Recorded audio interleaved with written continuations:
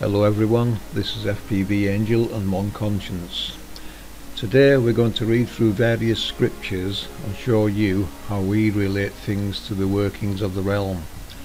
We look at the cherubims in more detail and how important it is for you to understand what they are and how their various roles in the underworld relate to the workings of the realm.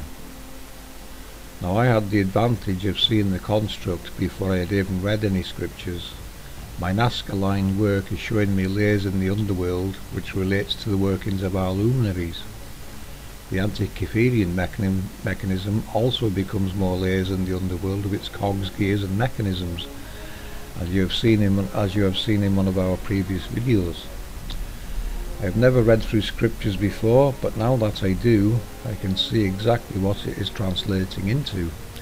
So what one conscience is going to do here is read through various scriptures and pause in places for us to discuss and break down what they are telling us.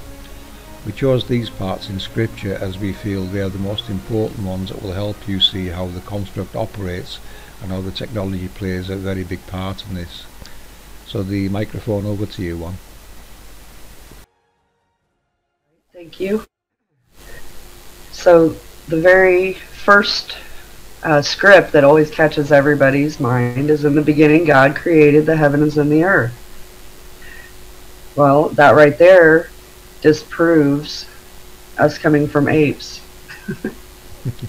right? 100% right. so that one's a huge one. so what does the Bible say about cherubim? Well, Genesis it says, Then the Lord God said, Behold, man has come, has become like one of us, knowing good and evil, and now he might stretch out his hand and take also from the tree of life and eat and live forever. Therefore, the God, God sent him out from the Garden of Eden to cultivate the ground from which he was taken. So he drove the man out, and at the east of the Garden of Eden he stationed the cherubim and the flaming sword which turned in every direction to guard the way to the tree of life.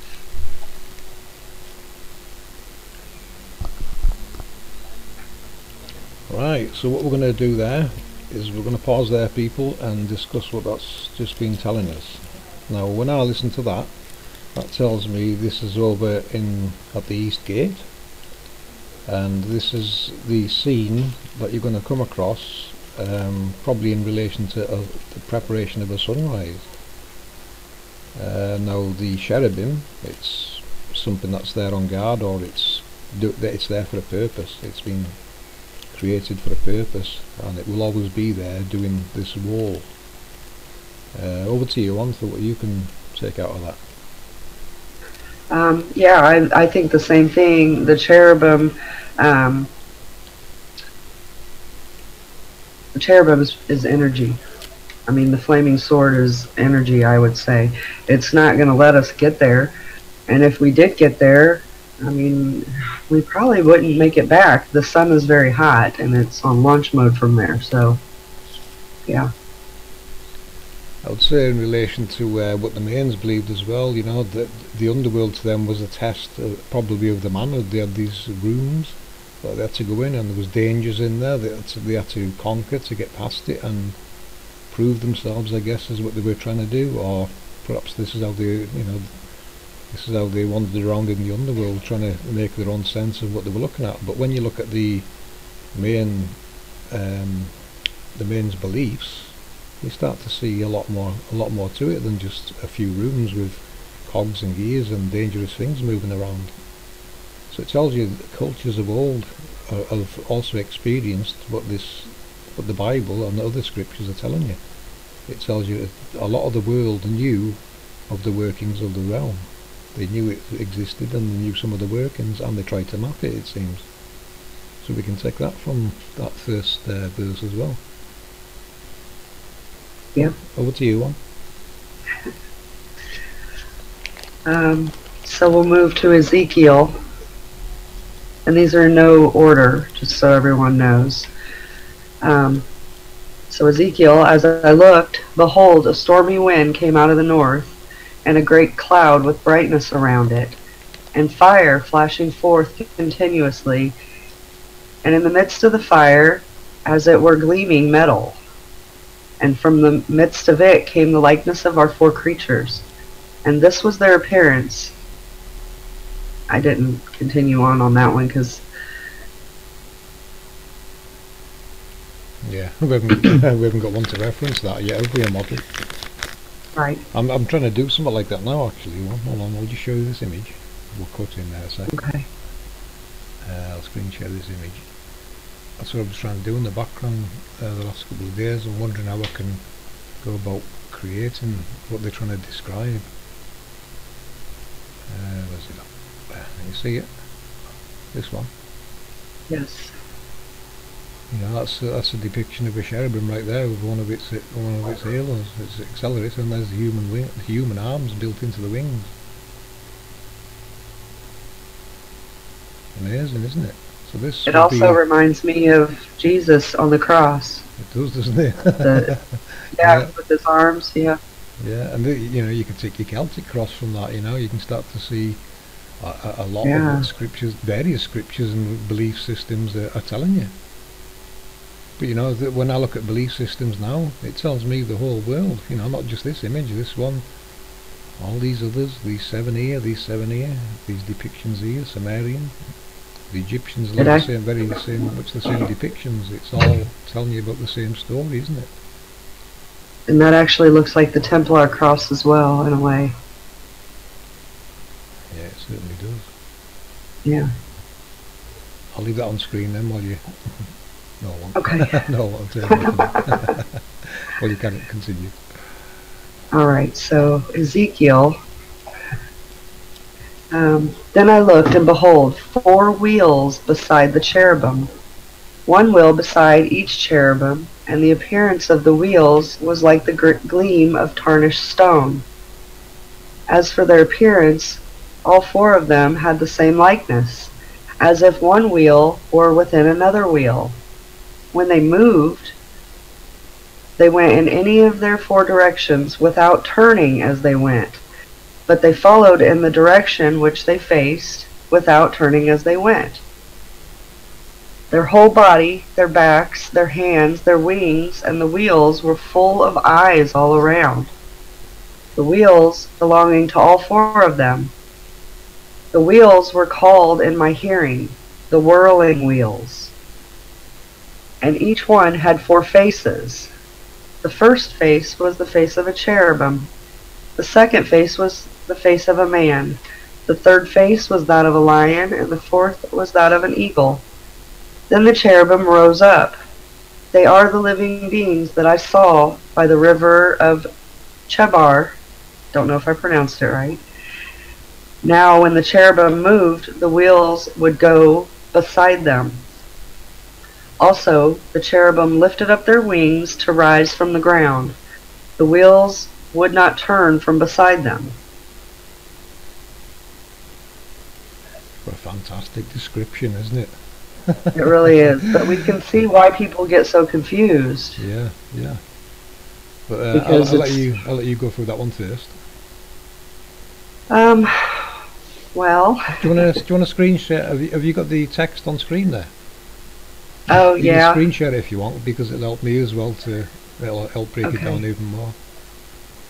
Because the more you read, the, the you know what's what we've gone past, you start forgetting. so yeah, if you can go back to the start of that, that um, where you started on. Yeah, that's a good idea. Very good idea. there we go. And this is where we read. Right, over to you one for So, well, I mean, it's describing the mechanism of the cherubims. Um, your descriptions, of course, are going to be better than mine. I am um, finding it hard to articulate all of this. But they're basically telling us how the cherubims move around in the underworld, and they're carrying with them um, their little their little vials, the, you know, that are going to make these illuminaries. Yeah, certainly is, isn't it? And I Yeah. looked and behold, four wheels beside the cherubim, one wheel beside each cherubim, and the appearance of the wheels that gleam of a tarnished stone. So what the wheels are people, is uh, what I've been saying of particle accelerators. The, um, the technology that's used to project what we see and call luminaries. This is what the Nazca lines have been teaching me, and uh, kudos to Roger at um, Woodfossil University. This guy's a scientist in his own right. This guy's on the verge of actually discovering how these work through his own research, which is amazing to, to watch and listen to. Un unsubscribing, fantastic work. But uh, the but what, what, what I've seen at uh, Nazca, you know, th this technology exists. It's how how these projections work, what we're seeing in the heavens. And that's what these wheels, we said the cherubims are telling me. These wheels are these projectors, uh, and there is various models of them. Now, when the you notice when it mentions the wings lifting up, this is this is an action that's going to lift the the the wheels up, and they will interlock, creating the what we see in report in the sky as halos, or people are now calling sundogs. We call them halos. This is the projection you are seeing from below. Because when it lifts its wings up, the, the vertical halo, which is you would see around the face of the sun, for instance, and the horizontal halo, which comes up uh, into an uh, interlocking position with it, and this is what's electromagnetically trapping and harnessing the element that's being projected. This is what we are seeing in the heavens now. That would be my best guess description of, of how this technology works. Um, what else we got there? Do you want to cover some more bits of it, one? Um, well, or, or the, the, wheel. Yeah, the the the the movement. Yeah, very important. Yeah. Because um, what Ptolemy described in in his world model, in the in the model of the heavens with these epicycles, the guy was absolutely correct, 100%, because it, it, what he tried to take into account was what's creating these motions. Now it makes me wonder, did this guy, Ptolemy, know of the existence of these accelerators and how the world worked in those days? Because looking through all these cultures, everyone knew. It doesn't matter which culture you look at, you know, the Hindus, all the mandalas, they're all depicting in the workings of this realm. And it makes me wonder, you know, did these people realise and plot and this is how they worked it out. This is how Ptolemy got his model, the model for the heavens, because you look at um, Copernicus, you know, they they destroyed Ptolemy's works and all these epicycles, uh, they're just fantasy talk. They get in the way. It's too messy. It, it's a lot of things that aren't taken into account to get to make something work. But I think they're wrong. well, I know they're wrong uh, what he's describing as epicycles are these projections in the sky we're calling halos so you know you've got to look at epicycles epicycles there's stationary halos up there and there's moving ones up there now the sun and the other six major luminaries that are get being projected these uh, have got these kind of motions they are moving around in the underworld and as described here they will go in the direction it's facing and they will not they will not alter unless the vehicle i.e. the cherubim is changes its direction, then the luminary in the sky reacts accordingly and will go in that, that new direction. So it tells you the cherubims in the underworld are moving around uh, across trackwork, mechanisms, triggers, you name it, various pieces of technology from what I can see, and triggering different things to happen in the heavens, you know, direction changes. And this is happening with all the luminaries, all the major ones. Um, yeah. Enough for that bit? um, I mean, other than that, it's just on a time system. It clearly says they don't turn; they go in the direction that they're they're facing. Right. So I mean, it's a it's a timed system. They have their paths, and that's all they can follow. Yeah.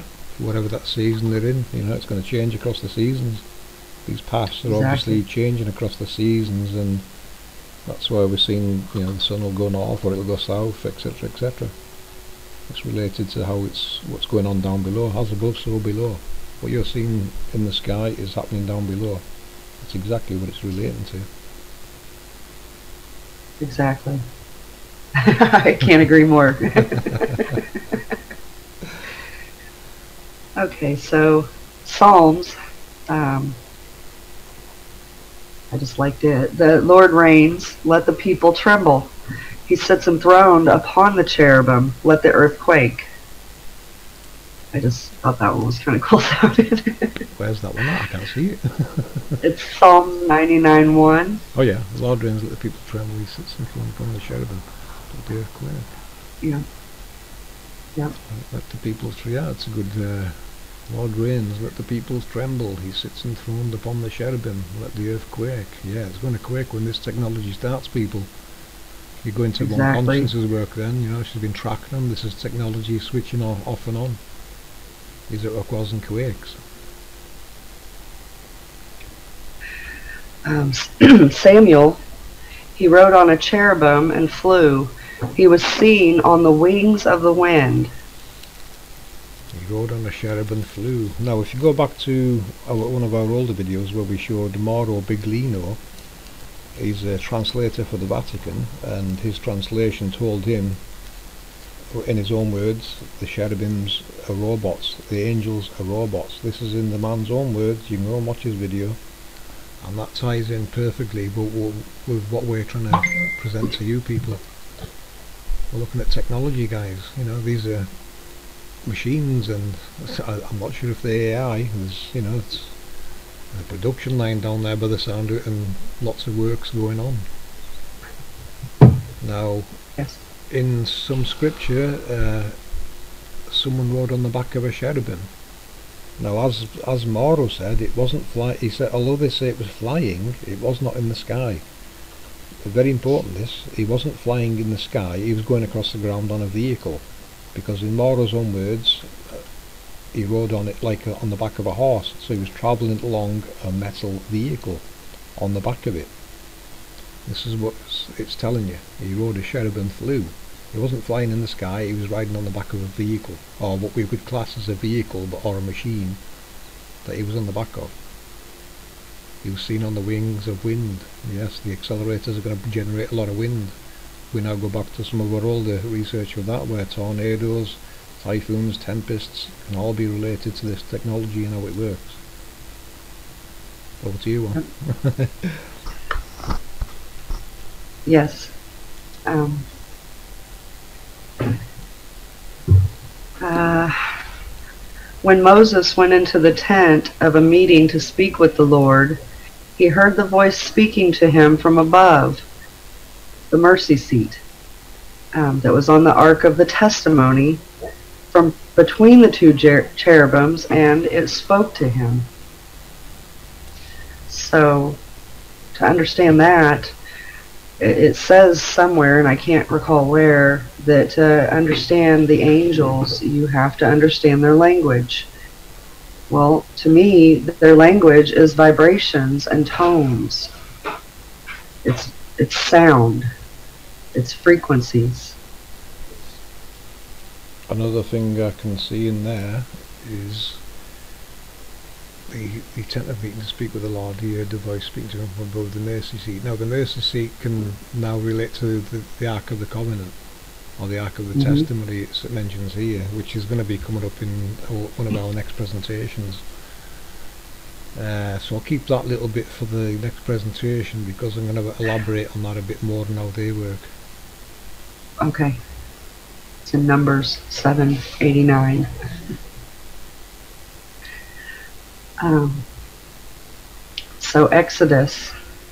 There I will meet with you, and from above the mercy seat, from between the two cherubim that are on the ark of the testimony, I will speak with you about all that I will give you in commandment for the people of Israel. Yeah, it's again it's relating to the the ark, and from between the two cherubim is where there's going to be an arcing of electricity, and I will speak with you about all that I will give you in commandment for the people of Israel. So it's um, showing you basically how to generate power, electricity, and this is for all the people of Israel. Now, if you remember again one of our previous videos on this research. Israel can be the name of the realm. All people, all kindreds, all nations, and all and all tongues. That exact that covered our world exactly. That is not a country. That is the world. It's describing the the, the name of the world as Israel. Would you agree there, one? Yes, yes, I do. Yes, and when they start reading this and they go through and they were actually read more scriptures, you know, people on their own, um, it, you know, they'll see that it is describing that our world is Israel. Yeah, that's what. You know, I believe it even refers to the heavens as Jerusalem at one point in some of these scriptures. Yeah, that caught my eye So- as well. Yeah. So they've just covered this up. They've called countries the name of our realm, and they're not letting us know where we live. yeah, it's obfuscating the scriptures more, isn't it? Right. And if you don't know consider- that, if you consider Israel as the name of the realm, then what scripture's telling you becomes a whole different meaning.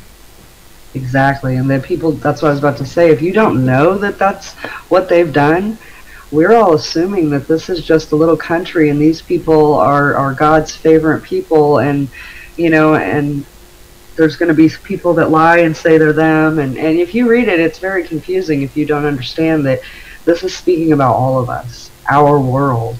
Yeah, So, yeah. It makes a big we're all difference. the, we're all the Creator's children hmm in the realm called Israel. That's what it's telling me. Yep. Um, Ezekiel uh, really enjoys talking about these four faces. So everyone had four faces. The first face was that of a cherubim, the second was a human, the third was that of a lion, and the fourth an eagle. Yeah, I think they could re, re, refer to cardinal directions in the underworld. You know, it could be four points in the underworld where the cherubim would need to be going on its journey. Could be wrong, but you know, I'm, I'm considering what's going on down below when I look at this. Them four faces might represent four locations, or it could even represent, you know, the four poles, north, south, east and west, the four gates, the four poles, the four portals. There's a bit more to there, but yes, definitely very interesting. You know, the, this was made with four faces for a reason, and you know, you- Yes. w- again, you're looking at a piece of manufactured metalwork with different faces. What is it telling you, people? It's telling you this vehicle has got four different faces on it. If you go through other scriptures, you'll see it's been laden in gold. You know, the wings have been laden in gold. This is a magnificent piece of technology and mechanical work that's carrying these um, particle accelerators around, these projectors. Yeah, I agree with the. It's the four directions. It has to be. I'm sure that if we looked back further, we would find relation to these um, descriptions with the directions. You know, north, east, south, and west. Lots of um, old religions use the directions. It's very, very important which direction you're using or calling or going to as far as the outcome that you're trying to to receive. So it, it's definitely important. it's a, um, Isaiah. Above him stood the seraphim. Each had six wings. With two he covered his face. With two he covered his feet. And with two he flew. Yeah, it's. Uh, I haven't really looked at Seraphim, so uh, it tells me though this is another. ones. This is another model of um, cherubim. You know, these have got six for a reason, and two with two he flew. Well, the, we can see that two are used for the, for accelerators, so it's got an accelerator on board at least. Yeah. And I, I, I mean, the seraphim are the fiery ones. They're called fiery serpents. Yeah, uh, Whether I or wish not- they'd uh, I wish they'd described them a bit more. you know, what was Right. lying around about them, them, them kind of descriptions. Yeah. Um, when I first read them, I, I really took them as, as to do with the lava. And it still could, but I'm not real sure anymore. So they don't give a very good description of them. Could they call them the fiery ones, the fiery serpents. but you never know. You know, Yeah. you might find a, a depiction of one somewhere in some sacred geometry, and it'll be a bit more revealing. You know, hopefully these images This exist in in geometry uh, or hieroglyphs, geoglyphs, you know, they could be out there still. Just need to be found and decode what, what its purpose or role is.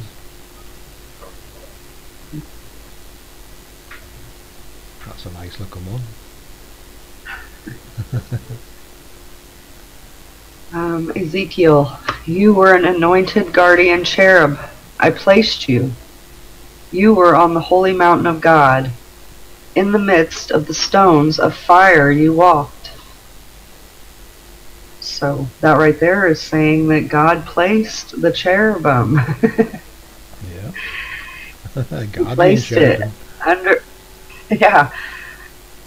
Probably guarding away to something, you know, it doesn't really say right there, but it's I'm sure it goes on. Super important if it's a guardian, isn't it? Yeah. We're on the holy mountain of yes. God in the midst of the stones of fire you walked. The stones of fire, you know, we're, we're now looking at volcanic type material here. Or possibly um, another subject we'll be going through in the next presentation. So I'll leave yeah. that bit for now. um, here's a bit more about the seraphim. Isaiah. In the year that King um, Uzziah died, I saw the Lord sitting upon the throne, high and lifted up, and the train of his robes filled the temple. Above him stood the seraphim. Each had six wings. Two covered the face, two covered the feet, and two he flew. And one called to another and said, Holy, holy, holy is the Lord of hosts. The whole earth is full of his glory and the foundations of the thresholds shook at the voice of him who called. And the house was filled with smoke, and I said, Woe is me, for I am lost, for I am a man of unclean lips, and I dwell in the midst of people of unclean lips. For my eyes have seen the King, the Lord of hosts. Well, an amazing description. Yeah. You've got a driver problem yeah. there. yeah. Sitting on the throne, high and lifted up on the train of his robe filled the temple. Within stood the seraphim. Back to the six eight, six wings type. One again, so we could his face. Well, what they call the Lord of Hosts, you know, you know what's, which is the Lord of the Hosts in the heavens. It's got to be the which sun, is? isn't it? It's got to be the Lord of Hosts, surely the sun. It's the most prominent thing that we see. Might yeah, be, definitely. Could be the moon. So, you know, whichever one you would consider the Lord of Hosts, that needs a little more research on my behalf, looking at what they call the Lord of Hosts. Oh, it is full of His glory. Yeah, I would say that's probably the sun. You know, the glory of the sun shining upon the world. The foundations for the threshold shook at the voice of him who called, and the house was filled with smoke. Uh, this smoke, I think it's, um, you know, go back to how they start in the east again, when the accelerator starts up. Because I've seen a few descriptions where the, this room is filled with cloud. And we've seen how clouds seem to form around these halos that we see in the heavens. You know, what, the, what people are calling sundogs, we'll go back to them again, the halos they've got that cloud-like colour and I think it does seem to draw cloud or vapour, water vapour in and possibly even produce cloud from it, you know. I think that's how it, how it works with the clouds. Clouds may be directly related to the to the halos. Hmm. Uh, where else we at? Keep learning. Woe is me, I'm lost. I'm man of unclean, 12 the only bit I can look at there is the, um, well my eyes have seen the King, the Lord of the Hosts. That's telling me someone's heard other than what they were told. They've gone down and seen it with their own eyes and now they believe what they're seeing to be true. It seems this person who was given this description was lied to, hence the mention of unclean lips. He was told lies. And he dwells in the midst of people of unclean lips, so he's living around people that are lying how the world works. For my eyes have seen the King, the Lord of Hosts. He's seen the sun. He's been there and seen it himself and tried to describe it. So he knows there's people telling lies about what's going on in the underworld. That's what I'm looking at there. we can understand that. Yeah, yeah. All of us. Oh yeah, unclean lips. Politicians the unclean lips. exactly. Yeah. Get the Um, trout out quick. Um, Chronicles says, For the altar of incense made of refined gold, and its weight.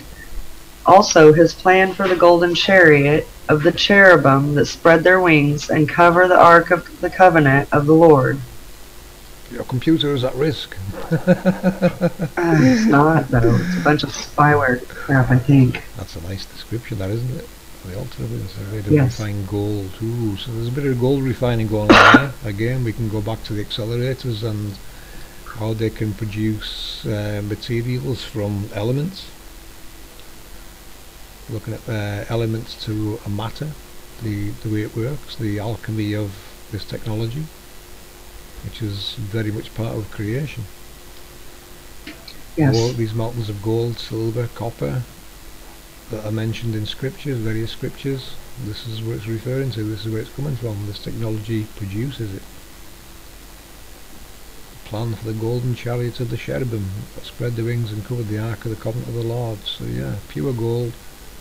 And they're going to make this golden chariot of the cherubim. Amazing. It's not amazing reading. It is. Wow. They're, what a sight they're to that building must have been. Yeah, yeah. you know, they're they're- building it. They're refining gold, they're going to make it from pure gold. Yeah, they're manufacturing in this uh, Ark of the Covenant. yeah. Um, Revelations, on a, on a human scale. That one, right? human Yeah, scale and creator size scale. We're looking at here. There's uh, a very big difference in size scale going on. and this really could have been more like giant size, actually, not us size. oh yeah, yeah. Well, you know, the human then- size um, productions would be like the Ark of the Covenant, ones that they could carry around mobile, which you know I'm going Right. to cover in the next presentation a bit more. That's a Yes. mobile version of something, portable mobile. So we'll save that a little bit. We won't get too much into that. We'll save that one, but Yeah. it'll it'll get revealed. Um, Revelations, and before the throne there was, as it were, a sea of glass like crystal, and around the throne, on each side of the throne, were the four living creatures, full of eyes in front and behind. The first living creature was the lion, the second was an ox, the third living creature was a man, and the fourth was an eagle in flight. And the four living creatures, each of them with six wings, are full of eyes all around and within. And day and night they never cease to say, Holy, holy, holy is the Lord God Almighty, who was and is and is to come. Lovely that, isn't it?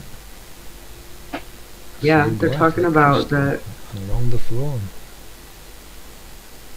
Yeah, each side of the throne. I would say this is um, probably describing somewhere at the East Gate again. You know, where the sun's going to be project start coming from and projected, where these four living creatures are again. The same description of the four appearances. So it's like the same description from someone else of the same thing that someone's seen, isn't it? The cherubim with the four faces. Well, there's two different descriptions, and this is where it gets a little confusing. And, and I'm not real sure if this is the second Oh, one, but there's two different. ones. These ones, oh, yeah, I've just noticed that they've got six wings. Exactly, these are the seraphim. So there's two different sets of fours that they're describing. The first four we just talked about. This is the second Yeah. set of four that are the seraphim, but they're still similar to the other ones, but they they have different functions. Their frequencies have to be different. I think that's the the different wings, you know. Yeah, Just like you talked about with the um, Nazca lines, they use different, you know, um, glyphs to describe different frequencies, yeah, yeah.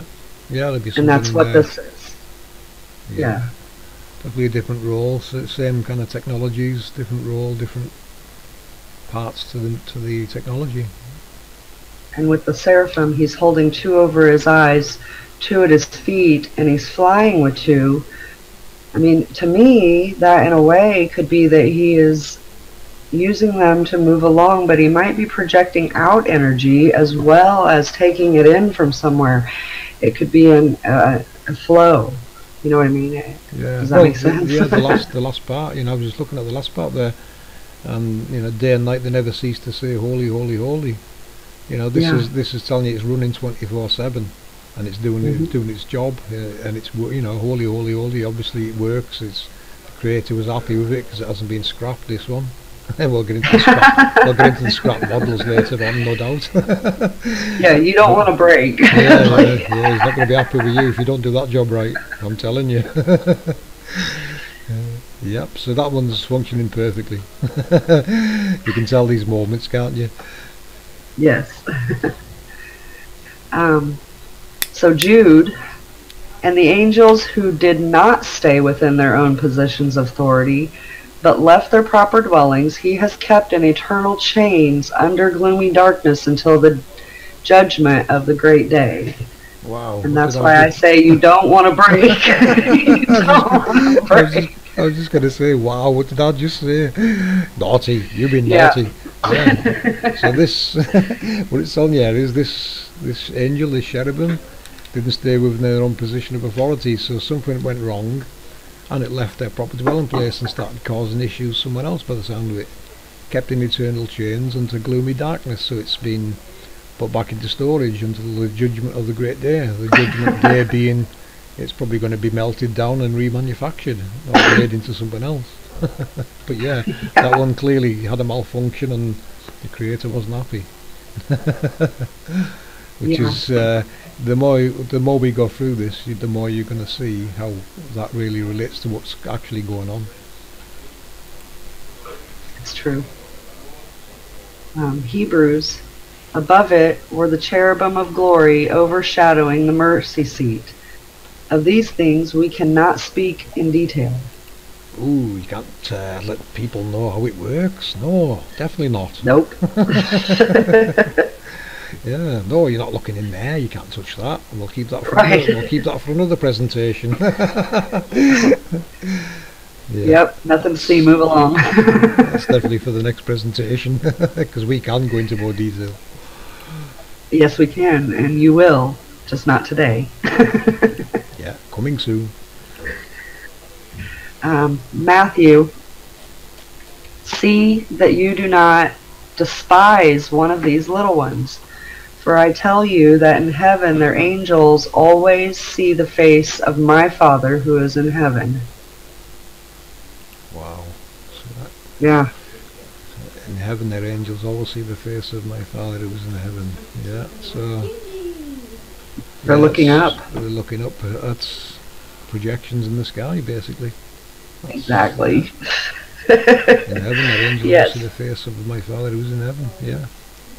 Every one of them's got a, a parent that you don't see in the sky. You know, the projection in the sky is the parent of the one below. Basically, I think you could uh, translate that to decode. You know, th- there's a, a relationship there. You've got the physical model in the underworld and the projection in the heavens.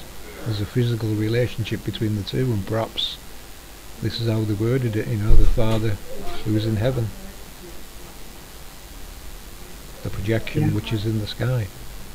You know, something to consider there. I'm not saying that's 100%, but looking at that, yeah, I can see a relationship there. How and looking at various scriptures and, and other things, I can see how they they fit wives and children in. And when you look at what's on the centre of our grid, you can relate that to the the, the dots in various places on the grid, and like the primary eight that we'll call them, or the the eight lotus leaves with the deity in the centre, you know, they're on our grid. I'll, I'll overlay them anyway, so people will see what I'm relating to. But yeah, we'll carry on. All right. Um, Jude says, um, but when the archangel Michael contended with the devil, was disputing about the body of Moses, he did not presume to proma- pronounce a blasphemous judgment, but said, "The Lord rebukes you." Blackie was in it this morning. Yeah, he was. He was sitting right in it. I didn't even see him come in. Did you hear that? Matthew says, For in the resurrection they neither marry nor are given in marriage, but are like the angels in heaven.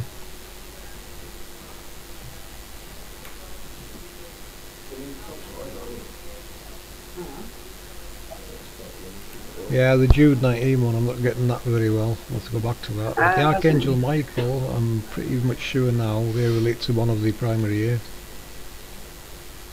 Well, there's only four archangels, and they are the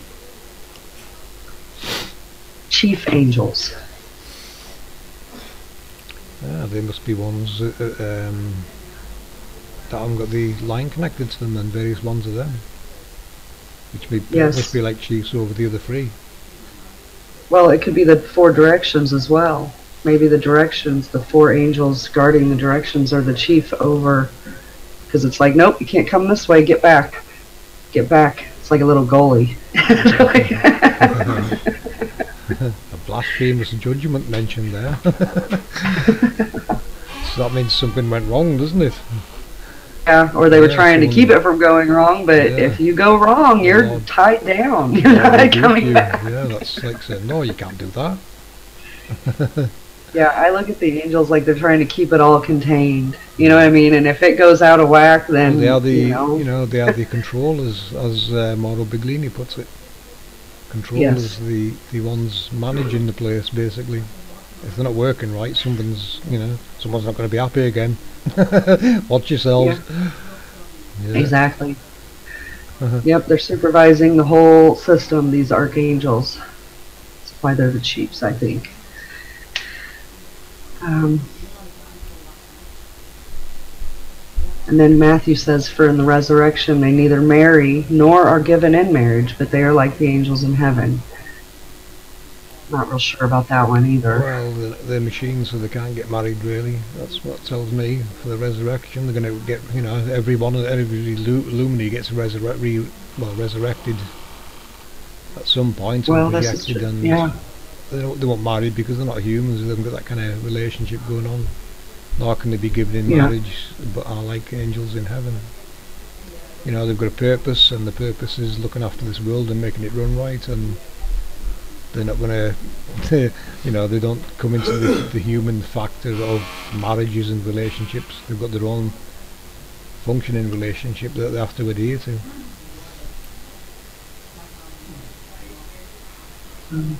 Ezekiel. Ezekiel has a lot to say too, but we'll just touch on him here. Um, these were the living creatures that I saw underneath the God of Israel by the Chebar Canal.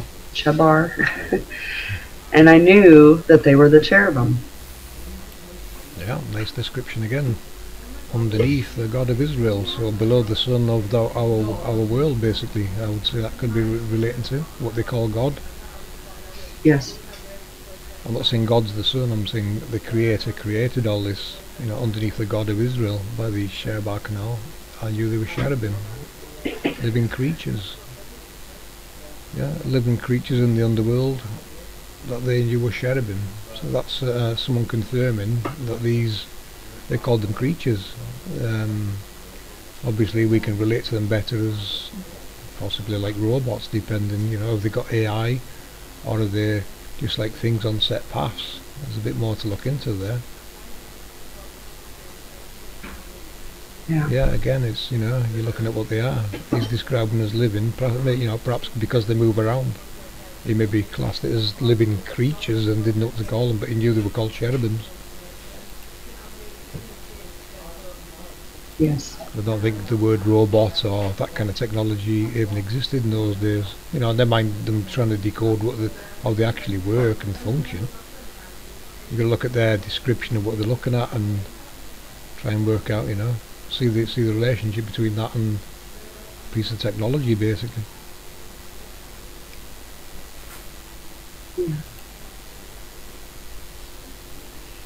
Um, Kings.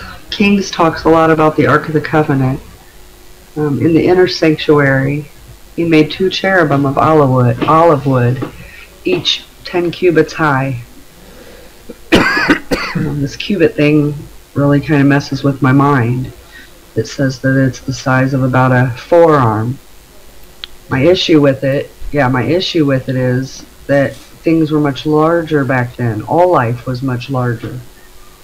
So Well, we have to go on a, on a creator size scale, don't we? You know, exactly, we can we we, we can u- we can scale that actually. You know, if we made a, a 3D model and we used a, a human's forearm as a reference, then in the model you can scale that to any giant size arm you want just by increasing its scale, and it'll scale it up and up and up until you get the size you actually want it to present. So it's always going to be that kind of representation. You've just got to apply it to the the uh, giant, the creator, or whoever whoever's arm is creating this technology. which puts it much bigger than what we thought. Oh yeah, yeah, very big, very very big. Not human size, that's for sure. They might be able to No. reverse engineer them and make small ones now, but no, not this type. Right. No. Colossians, uh, for for by him all things were created in heaven and on earth, visible and invisible, whether thrones or dominions or rulers or authorities, all things were created through him and for him. Wow, there's our halos right there. Yeah. All things are created in heaven and on earth, visible and invisible. You've got the visible technology in the underworld and the invisible projection in the heavens of, of the halos that we've been describing, the sundogs, the halos, are the thrones or dominions or rulers or authorities, all things are created through him and for him. Yeah, perfect description. These It is a good thrones, dominions, you know, the rulers and authorities. This is the technology having various different roles in the in the heavens. Exactly what it's telling you. Perfect. Um, Daniel. Daniel says a lot. Good on it. Daniel. he says here, the prince of the kingdom of Persia with, withstood me 21 days. But Michael, one of the chief princes, came to help me, for I was left there with the kings of Persia. 21 days.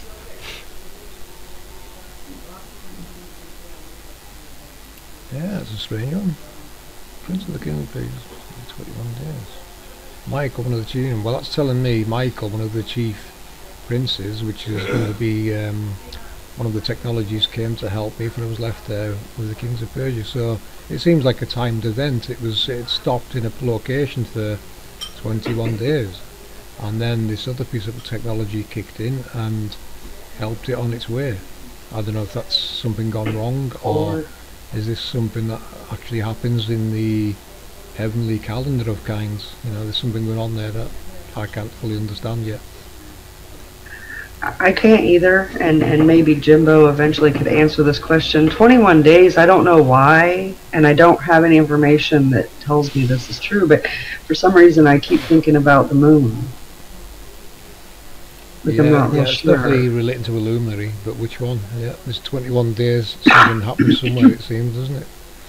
And Mhm. then something kicks, something starts up and helps along its way. Yeah, something that people that understand the astronomy, you know, that's one for them really. Is there something up there that seems to stand still for three weeks, 21 days, and then it's suddenly moved somewhere else? That might actually answer one of our planetary motions, that. it might. Because that uh, Jupiter seems to be taking its time in places, doesn't it? yes, it does. Yes, and Saturn too, yeah, this is and Neptune, and Uranus. something that moves slowly, isn't it? It seems. it's very Or small increments. You know, there could be small increments, and it appears to stop. I don't know. Or it could be that it you know, whatever it is, you know, Kingdom of Persia, it probably refers to the Middle East. Or Persia could be a part of the sky, you know, it could be um, one of the constellations even that it's mentioned in here.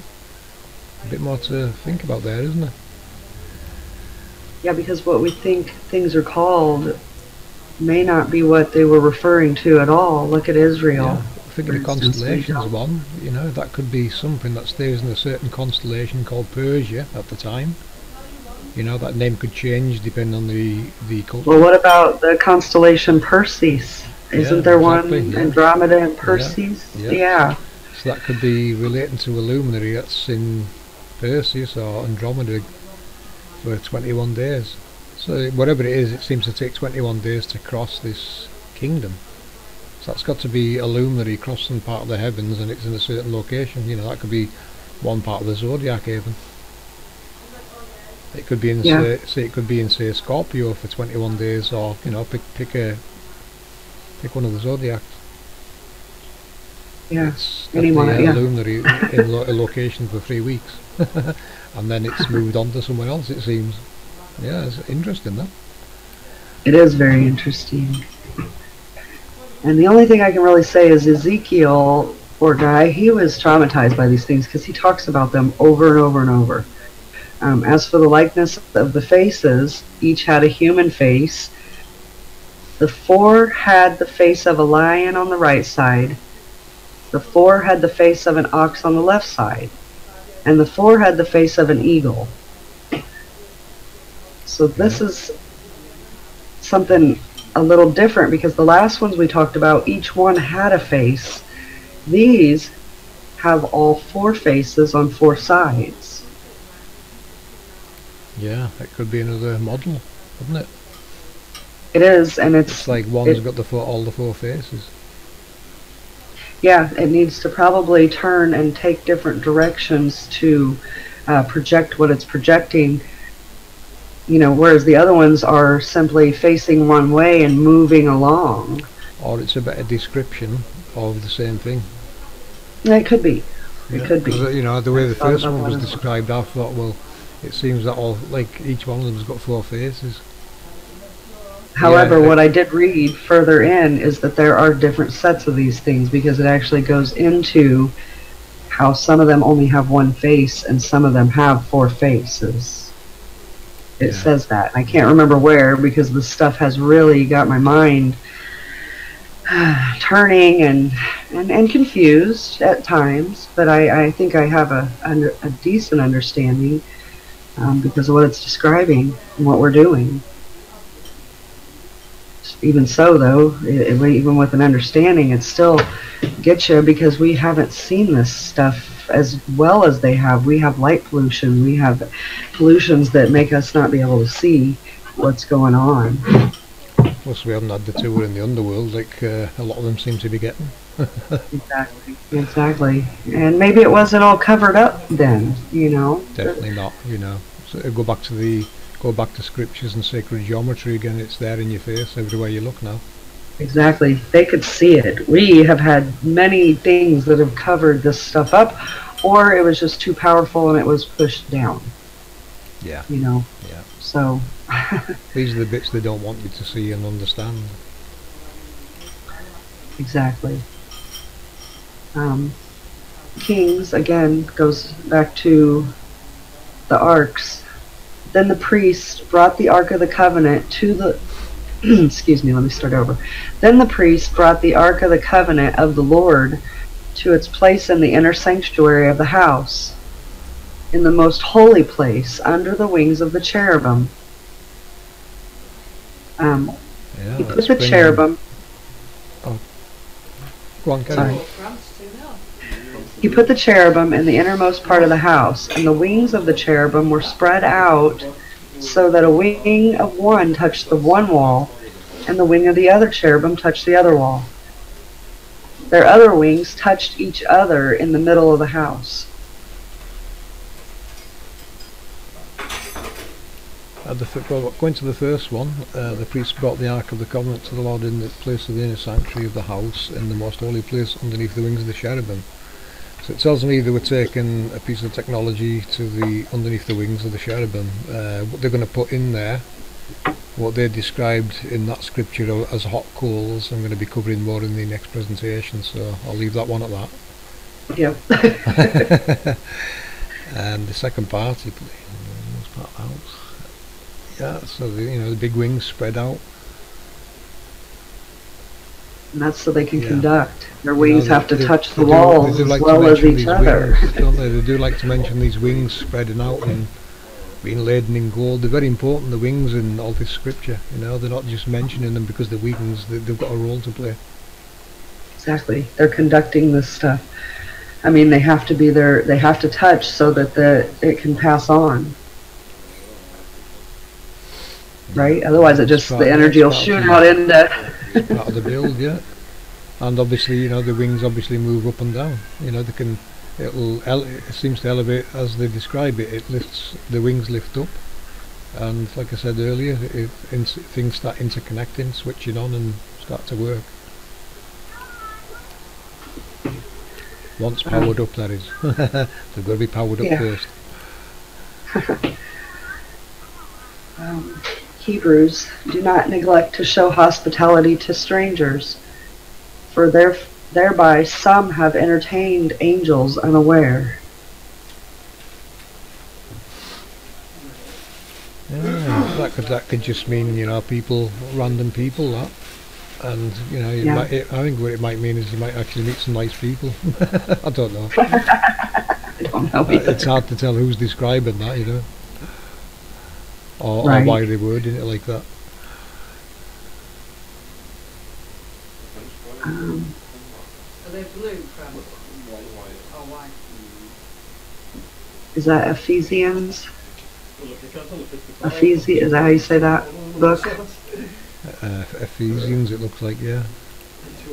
Um, For we do not wrestle against flesh and blood, but against rulers, against the authorities, against the cosmic powers over the present darkness, against the spiritual forces of evil in the heavenly places. That tells me they're not fighting against mankind. They're there to do a purpose against the rulers, authorities. They might, might class as actual, you know, physics uh, and how how how this technology works.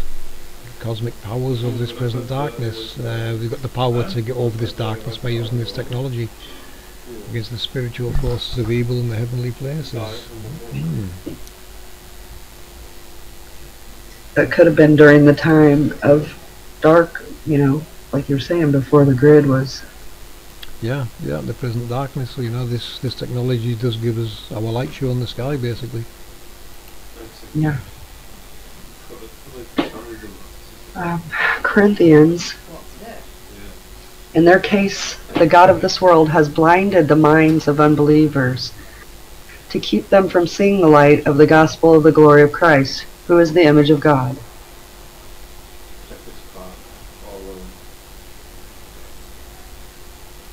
Hmm. So yeah, it tells you know, it tells you there. There's people telling lies about what's how it works. Yeah. Yeah. And Someone it says well, it's basically warning. You know, there's people in this world are going to tell you lies and try and hide this how it works. Definitely. And they do. Oh yes, they do. They were right. Matthew, his appearance was like lightning and his clothes white as snow. I love the way they use the elements to describe these things because that's what they are. Believe they're, they're elements. Their Well, energy. Well, when you look at it, yeah, it looks like uh, you see the flash of lightning, uh, and the white that would look like white as snow, as opposed to your eyes. yeah. Big white Yes, flash happening. Yes, and if it was projecting something, it would be like lightning coming, you know. Or, or, or he was trying to describe perhaps the uh, cherubims on the, above the mercy seat, you know, where, they, where the electricity arc across, and he seen it uh, and seen the appearance like lightning, and it looked white as snow. Well, you know, was he looking at the Ark of the Covenant when he's in what he's trying to describe here? Very possible. Matthew also says, uh, Then he will say to those on his left, Depart from me, you cursed, into the eternal fire prepared for the devil and his angels. Sounds like uh, one of the Jawas, doesn't it? Let's take them, take them to the scrapyard, get them melted down.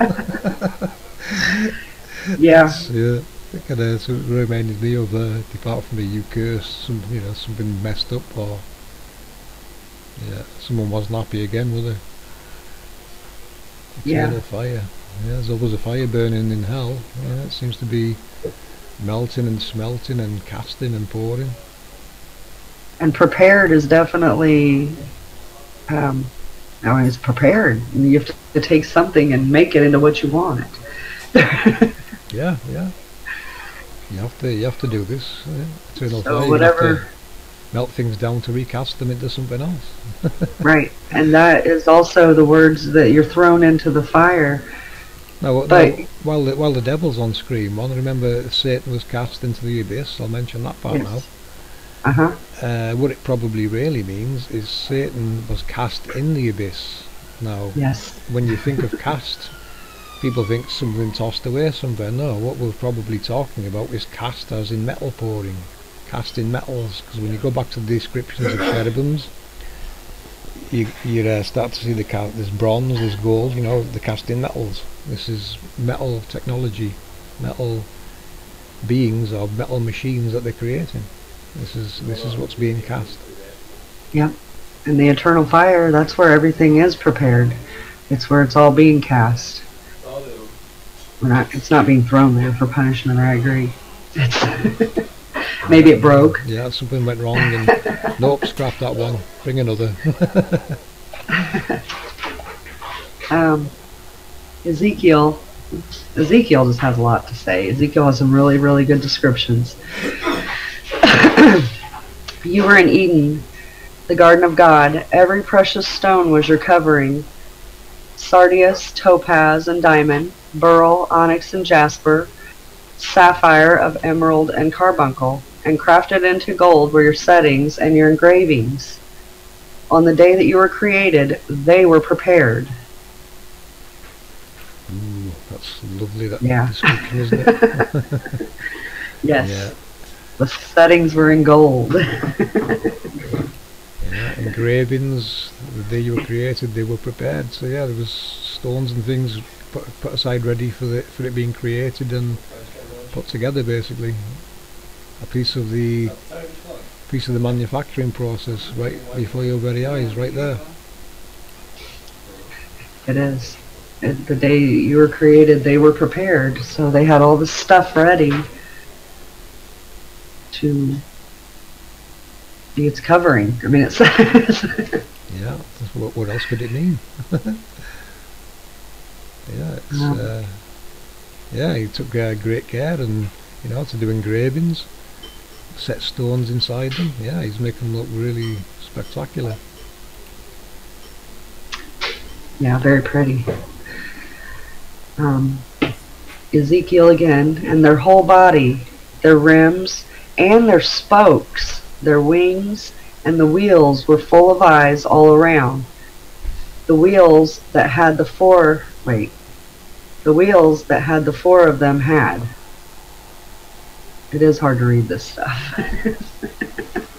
well, there, you know, the rims and the spokes. Uh, there's some wheels right there. You know, this is wheels on a vehicle again. Uh-huh. Wings and the wheels were full of eyes all around the wheels. You know, when you're looking at metalwork, especially gold, because we've seen this gold manufactured on the wings, it is going to reflect what's in the room around it. So this is maybe what the what is describing as eyes. You know, you, you're going to see a lot of reflections of this highly polished, shiny metal. And that's what that's Yeah. describing there. Yeah, I agree. um, Ezekiel, he said to the man clothed in linen, Go in among the whirling wheels underneath the cherubim. Fill your hands with burning coals from between the cherubim and scatter them over the city. And he went in before my eyes. Whirling wheels underneath the cherubim. Now, what could be whirling? you know, you're looking at an accelerator again, aren't you? Yes. And the burning coals. Yeah, well, that's, things will uh, get hot. Being manufactured by this by this process. You know, Yeah. th- this process does harvest elements. So we could be looking at Well, well, the hands of some of these gathered elements that are just appearing from nowhere. the alchemy of the machine. burning coal can run a lot of machines. Might not only be producing it, but it could be actually being used to help keep these things going, perhaps. Yeah, Sure. yeah. It could be related to the technology that actually powers them. Yeah. Uh, people will hear more of that in the next one. Yes. um, Ezekiel, uh, their wings touched one another. Each one of them went straight forward without turning as they went. Yeah, went straight forward without turning as they went. That's uh, that sounds like it's setting off on its one of its paths, doesn't it? You know, going, Yes. to, go- going to go from the east to the west. It's setting out on its path, and this person Ezekiel witnessed it. So you see, Um, clearly seen a, seen a cherubim setting off and going somewhere, and it didn't turn as he watched it. Right. It was a straight path.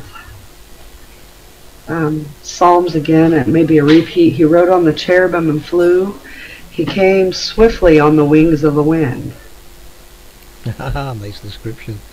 Yeah, that's someone riding on the back of a cherubim, and it looks like they're flying, but you know, they're, again, they're on some kind of vehicle or going above. They're not touching the ground with their feet. In other words, they're on something, as described, something with wheels and spokes that moves and turns sometimes and not others. so he rode, someone rode on the back of it, on the on the wings of the wind. Well, the wings would be the angel's wings, the cherubim's wings, and the accelerators are generating the wind. Wings of the wind, yeah, very nice wording. Um, so the last two that I have here are kings again. He overlaid the cherubim with gold. And it also says, the other cherubim also measured 10 cubits. Both cherubim had the same measure and the same form. Yeah, ask yourself, people, what is the overlaying with gold? Cherubim, yeah. That cherubim will overlaid with gold, so it'll have an eternal, lasting uh, use for its for this particular role. This this uh, particular cherubim's performing. You know, you, you want them to last, you're gonna have to coat them in gold. That's what that's telling me. Yeah. Um, now we're going to shift. We're going to shift over to Enoch. So, now again, this is not in any particular order. I went through and I picked out things that I thought were very interesting as far as describing some of the things that we are doing. But I encourage everyone to read it. um, oh yeah, and or listen to it, but reading it, uh, you know, for me, when I read the text,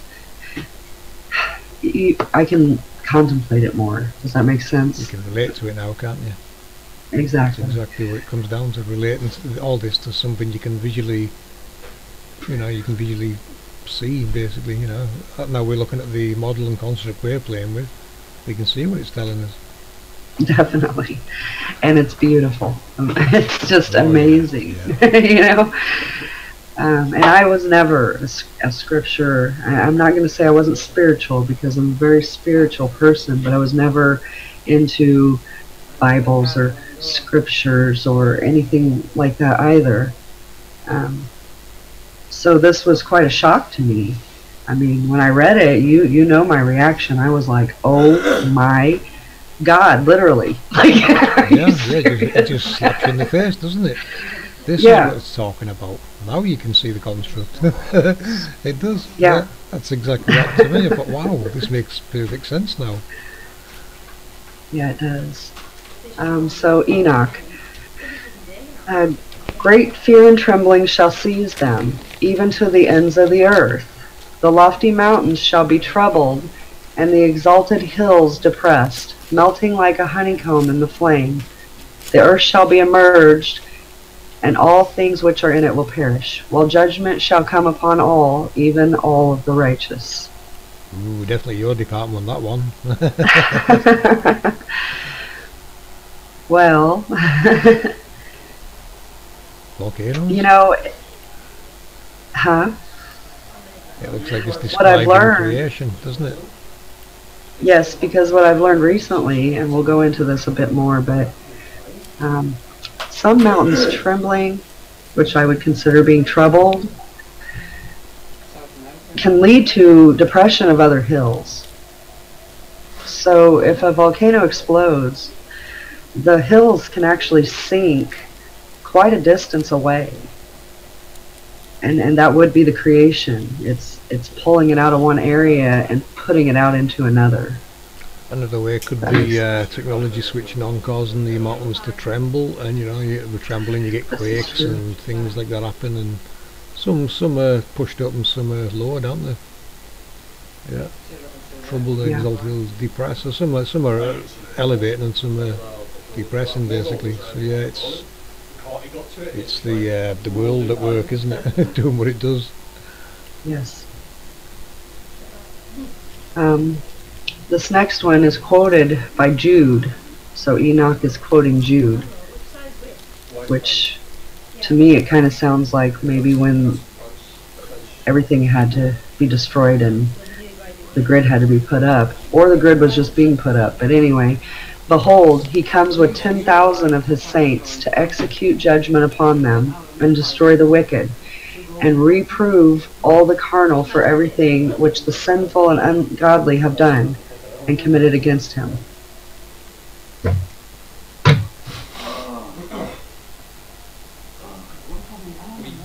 Ten thousand of his saints, you know, you got to think of a saint with his halo. Again, we're talking halos, and again, we're talking a cherubim projecting one. So yeah, it tells me there's thousands and thousands, which makes sense. You know, the 144,000 described in scripture, I think probably possibly relates to these.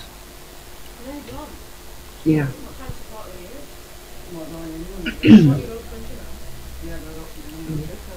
Well, they Well, describe not- not- 10,000. Not possibly, definitely. The 10,000s are the angel, his saints, those are the angels. Those are the cherubims. It's it's said in other um, texts. That's exactly what it is. He's bringing his angels, which are the halos, which are the cherubim. And as we showed in other work one, you know, we, we had the 12,000 in each pa- sign of the zodiac, creating the 144,000. yes. Yeah. Um, so then,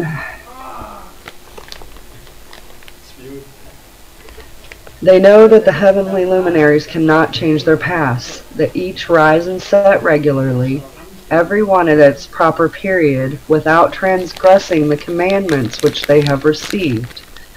They behold the earth and understand what is there transacted from the beginning to the end of it. They see that every work of God is an invariable in the period of its appearance. They behold the summer and winter, perceiving that the whole earth is full of water, and that the cloud and dew and the rain refresh it, except fourteen trees which are not deciduous, which wait from the old to the appearance of the new leaf for two or three winters. Nice, isn't it? Yes, Change not their paths. Very predictable. Yeah. They're programmed. Sets regularly uh, its proper period without changing the commands they've been received. Exactly. When you do a computer program, don't you enter your commands to make it work the way you Oh, want yeah. it to work? And it should never change unless something goes wrong and then someone's not happy and it's down to the scrapyard again. In eternal darkness, even. yeah, chained to a wall forever. Oh, you don't screw up. you don't break. You don't want to be doing that. And that's what the archangels are saying. Hey, hey, don't don't break. Don't don't do that. Yeah. You don't- will regret it. You You'll be go to, you melted. don't want to go to the bad place, the abyss. it's dark in there. Like how some people do, you know, like England, like they don't do that, like, I don't know how to do that. They see too how the seas and rivers together complete their respective operations. And the women conceiving brought forth giants. Yeah, seas and rivers together complete their respective operations. So, you know, it's telling you the seas and the rivers have all got a mode of operation going on. Because you've got to think now, you know, the source of rivers, where's it coming from? It seems to be pumped back into the ground and it comes from a puddle in the middle of nowhere. And the next thing you've got a river that goes for miles. where's it coming from? yeah. yeah. Yeah, there's a whole Yeah. operation of processes going on down there to consider. Um, next, it goes a bit into the individuals. So, Azael taught men to make swords, knives, shields. They'll be against Brazil. Their next match is against Brazil. Um, and the workmanship of bracelets, ornaments, the use of paint, beautifying the eyebrows, the use of stones. Um, Barkael taught people how to observe the stars. Tamiel taught astron- astronomy, Sweden like 5 0 and then how many and 6 0 or something. Azaradel taught the motion of the moon. Again the Lord said to Raphael, Bind Aziel hand and foot, cast him in the darkness, and open an opening in the desert which is in Dudiel. Du- Dudiel? Cast him there. Oh, look at that. Uh, it tells me that Azazel's uh, malfunctioned. He's been cast down into the into the pit with the others up in the desert, which is in Dudiel. Cast him in there. Yeah, it looks like he's going to get recast. Or Yep. Yeah, something's gone wrong there, hasn't it? Yeah, he messed up. so, Malfunction of some kind went on there. thrown upon him hurled and pointed stones, covering him with darkness. There shall he remain forever, cover his face so that he may not see the light. And Yeah, in the great day of judgment, and in the great day of judgment, let him be cast in the fire. Oh, what a description again. You know, he's been put into storage, isn't he? In a dark room. yeah, in a dark room until they need to recast him and make another one. Yeah, till the next one breaks. Spare parts room, isn't it? Clearly. Pretty much. Um, bind them for 70 generations underneath the earth, even to the day of judgment and the consummation, until the judgment, the effect of which will last forever, be completed. Then shall they be taken away into the lowest depths of the fire in torments, and in confinement shall they be shut up forever. Wow. Yeah, Yeah, that's what yeah. happens if you break. Yeah, into storage again. Wait a certain time or until when it's needed and get it, chuck it back in the fire and melt it down again, isn't it? Yeah. And shut Um, up forever, basically. yeah. Shut up. Bloody thing's too noisy. Shut it down. exactly, it's squeaking. You hear that? Where's the oil gone? Um, immediately after this shall he, together with them, burn and perish. They shall be bound until the consummation of many generations. They elevated me aloft to heaven. I proceeded until I arrived at a wall built with stones of crys- crystal. A vibrating flame surrounded it, which began to strike me with terror. And drew Mm. nigh to us. oh, go ahead. I it stopped. I was going to say, ooh, someone's been taken on the tour here. Yeah, this was Enoch's tour. Uh huh. And this, the striking him with terror. Um, I don't know if a lot of people are familiar with frequencies, so I'm just going to throw it out, out there. That say ghost hunters, there's a show, and they go in to try to debunk whether or not there's spirits lingering in the home. One of the first things they do is break out their EMF reader because if there's high EMF frequencies in a home, then it will actually cause the person to feel uh, paranoid and fear like someone's watching them. Um, those sensations are actually caused from the energy, which could be spirits. We're not getting into that right now. But the energy alone and the frequencies can cause people to tremble, shake, the hairs to stand up, and them to feel very paranoid. Yeah, vibrating flame surrounded it. You know, you could be talking about electrical arcing off something here as well. Yes. Yeah. and the greatness of that energy would make you feel. yeah, and you're right. Yeah, with the frequencies. Yeah, yeah. If there's certain frequencies, humans are going. to... I mean, the guy didn't know what it was to start with by the sound of it, so it's going to scare him anyway. you know, what the hell is that? What is this thing I'm looking at here? What's that going to do? You've got to Yeah, put yourself a in their vibrating shoes, haven't you? Put yourself in their sandals and think, what the hell is this? um, and drew nigh to a spacious habitation built also with stones of crystal. Its walls too, as well as the pa- pavement, were formed with stones of crystals. And crystal likewise was the ground. Its roof had the appearance of agitated stars and flashes of lightning. And among them were the cherubim of fire in a stormy sky. A flame burned all around its walls, and its portal blazed with fire. When I entered into this dwelling, it was hot as fire and cold as ice. No trace of delight or life was there. Terror overwhelmed me, and a fearful shaking seized me. Nice description, isn't it? Yeah, Enoch has very nice, very good words. A very nice ornate place where a very important piece of technology uh, basically is, and he's looking around it trying to describe what he's seeing. Yeah. Now the giants, who have been born of spirit and of flesh, shall be called upon the earth evil spirits, and on the earth shall be their habitation. Evil spirits shall proceed from their flesh, because they were created from above. From the holy watchers was their beginning and primary foundation. Evil spirits shall they be upon the earth, and the spirits of the wicked shall they be called. The habitation of the spirits of heaven shall be in heaven, but upon the earth shall be the habitation of terrestrial spirits, who are born on earth.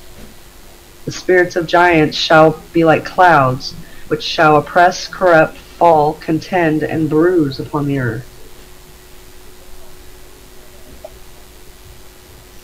Well, you go first one. Hmm.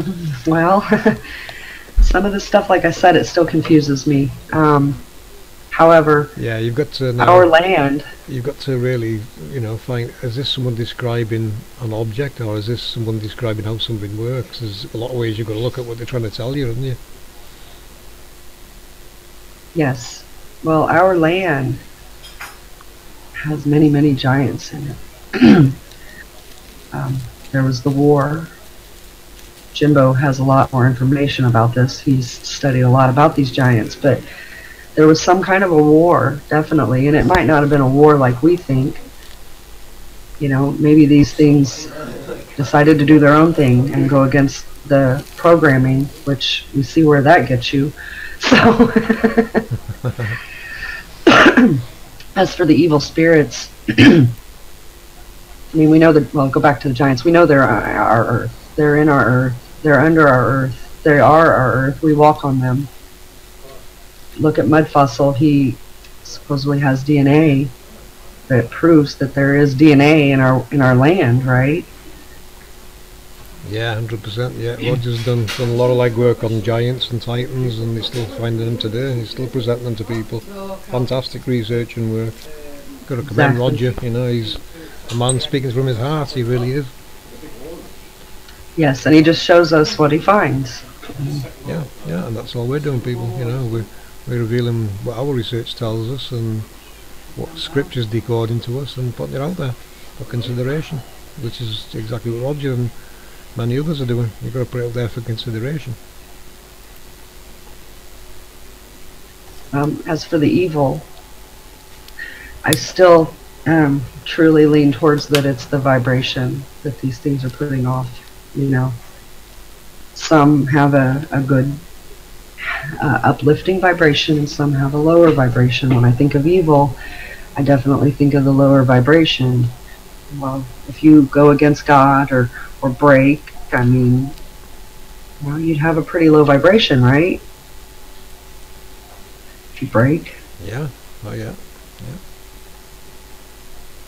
You know but uh, again i If you know i'm just taking it how i If you fail in the checksums, something's not right. That's what it tells you, doesn't it? Yeah There's a checksum for everything, and, and if it's not functioning right, then there's a problem. Yeah. They shall cause lamination. No food shall they eat, and they shall be thirsty. They shall be concealed, and shall not rise up against the Son of Man and against women. For they come forth during the days of slaughter and destruction.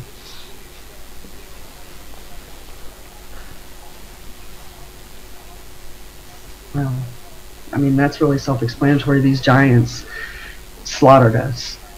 You know, This some of them were This cannibalistic. be relating to the angels again. Uh, they're, they're not here to cause harm. They don't eat food. They, they shall be thirsty. Mm. They are concealed and shall not rise up against the sons of men. So they're not attacking us or women. They Right, but they're coming forth forth the during the days slaughter and destruction. Hmm. Yeah, Well, this could oh, be the grid going up to protect us. It could be. slaughter and destruction.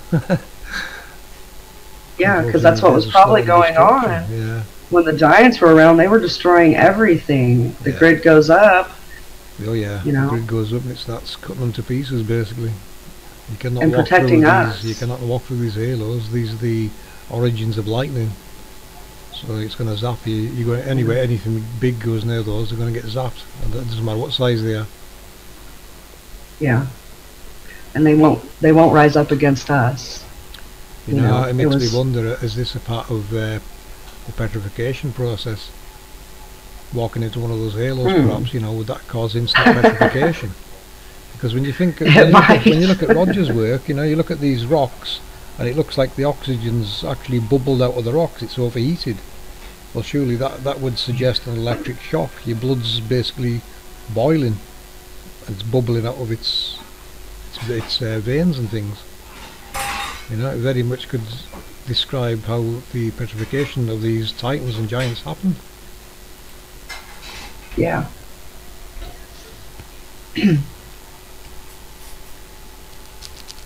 um, and I beheld the receptacles of light and of thunder at the extremities of the place where it was the deepest. There was a bow of fire and arrows in their quiver, a sword of fire and every species of lightning. Every species of lightning. Ooh, what a description. Isn't it? You know, that's telling you there's different Yeah. types of electricity right there. Which we know there Yep. is, you know, there's various types of electri- electrical form going on. How it can be harnessed. yeah, nice description. I agree. But we'll get into that next presentation. Yeah. so, um, then they elevated me to a babbling stream and to a fire in the west, which received all of the setting of the sun. I came to a river of fire which flowed like water and emptied itself into the great sea westwards. I saw every large river until I arri- arrived at the great darkness. I went to where all of the flesh migrate, and I beheld the mountains of gloom which constitutes winter, and the place from which issues the water in every abyss. I also saw the mouths of all rivers in the world, and the mouths of the deep. I then survey, surveyed the receptacles of the, all the winds, perceiving that they are contributed to adorn the whole creation, and to preserve the foundation of the earth. Well, the first thoughts when it mentioned babbling stream made me think of politicians.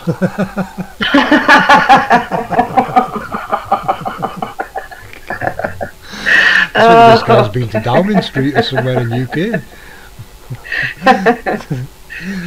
But no, babbling Oh. stream and a fire in the west. Yeah, there is a big fire, great fire in the west. That's been described a lot, isn't it? This fire in the west Yes. receives the setting Yes. of the sun. Yeah, nice, very nice. You know, that's got to be the west gate. On our on our grid, the gate in the west, or the portals in the west, if you want to call them those. And a river of fire, yeah, flowed like water. Yeah, you're looking at lava there, aren't you? Definitely lava. Empty sailed into the Great Sea westwards, which is exactly what it's still doing to it today, isn't it? Yes. Every it large is. river. Where all the flesh migrates. That's got to be like the migrating birds and species. There must be a place they all go to there. Be a nice place, wouldn't it? Oh, beautiful, I bet. The mouths of all the rivers of the world. Well, there you go. There's a nice source for all these rivers. Oh, just talked about the source of rivers before. Yeah, The And it goes receptacles of all the winds. Yeah, we know it's generating the winds. yeah, and we'll get into that a bit more coming up. I believe I have it in here. Yeah. There's different winds as well. Um, all right, these next ones I think I'm going to read in a bunch. I surveyed the stone which supports the corners of the earth. I also beheld the four winds which bear up the earth and the firmament of heaven. And I beheld the winds occupying the exalted sky, arising in the midst of heaven and earth, and constituting the pillars of heaven. And I saw the winds which turn the sky, which cause the orb of the sun and all the stars to set. And over the earth I saw the winds which support the clouds.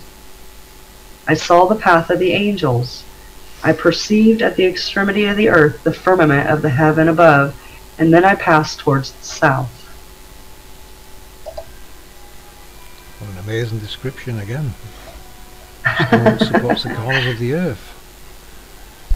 Yes, Uh, well, Which is our the, pillars. can you leave it uh, lit up in blue so I can go through it slowly? Yes, sorry about that. Jumping Yep. ahead there, I'll see you. Um, uh, right Yeah, here. let's break that down bit. Let's break this down a bit further. Yep. Yeah, the stone Start on the first the one. corners of the earth. You know, it's telling you there. There's some structure in the, in the corners of the realm somewhere. Well, and it only it's it's singular, so that was kind of grabbed me. I surveyed the stone, which supports the corner of the earth. Or he's only, or he's only been to one corner and, and suggests that the other corners are going to be the same. Yeah, or it's just one type of stone that was used. Yeah, yeah, yeah. This, the type of stone used. Yeah, that would uh, do it. The four winds which bear up the earth and the firmament of heaven. The four winds. Uh, they've been referenced in the north, south, east, and west before.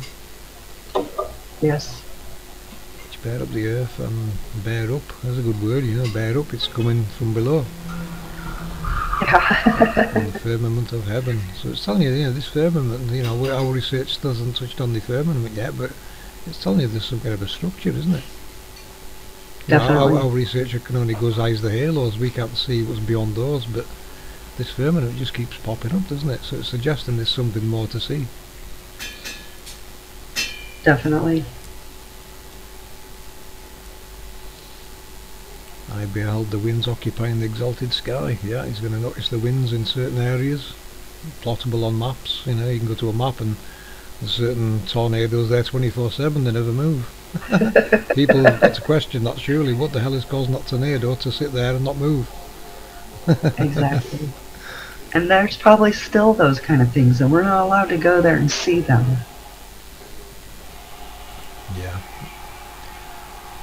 Yeah. Yeah. I don't know that for sure, but I would imagine it's still there. You know, something's holding yeah, it all it's up. still running, so nothing's changed. it still works.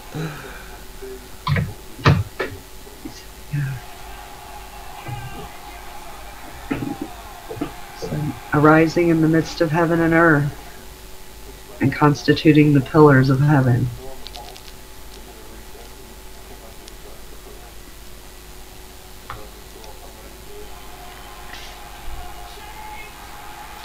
Middle of heaven and earth, you know, arising from basically the land.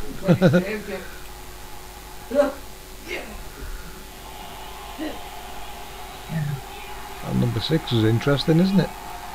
Yeah, Get uh, a bit noisy for me now to talk. um, I saw the winds which turned the sky, which caused the orb of the sun and all the stars to set. And over the earth I saw the winds which supported the clouds. I mean, these are all very self-descriptive, honestly.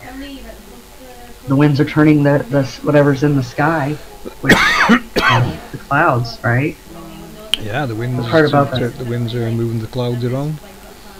Your Mhm. jet stream, that's you know, it's clearly coming from all this technology. The orb of the sun and all Yeah. the stars to set. Yeah.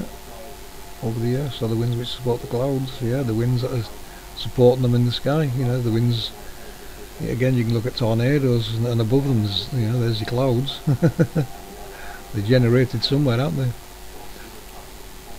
Yeah.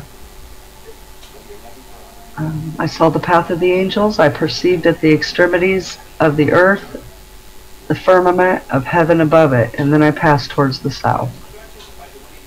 yeah very nice so that was someone going on a, a tour Enoch being taken on part Well, of I the tour think- I think he may have been west at that point, right? Because he talked about how the sun sets in the west. so- yeah yeah he was in- definitely in the west and the extremity in the west he was taken to where obviously there's a piece of the firmament above it and then passed on towards the south so yeah he's got to the end of the western tour and now he's looks like he's heading south So let's go south.